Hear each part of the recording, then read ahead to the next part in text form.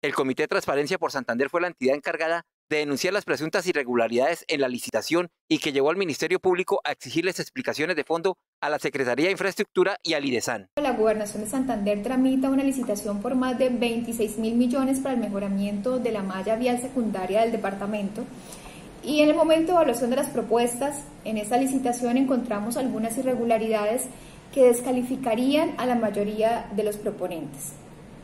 En este caso se está haciendo evaluación de unos aspectos que no estaban contemplados expresamente en los pliegos tipo, por lo tanto eh, estas irregularidades se pusieron al tanto de la entidad y la entidad eh, decidió suspender el proceso y reanudar el día de hoy a las 11 de la mañana la audiencia de adjudicación. Según el gerente del Johnny Peñalosa, la Procuraduría se equivoca al pedirle a la entidad respuesta sobre esta licitación, pues son dos procesos diferentes. Nosotros no estamos manejando esa licitación, esa licitación es de infraestructura del departamento. Ahí hay un error.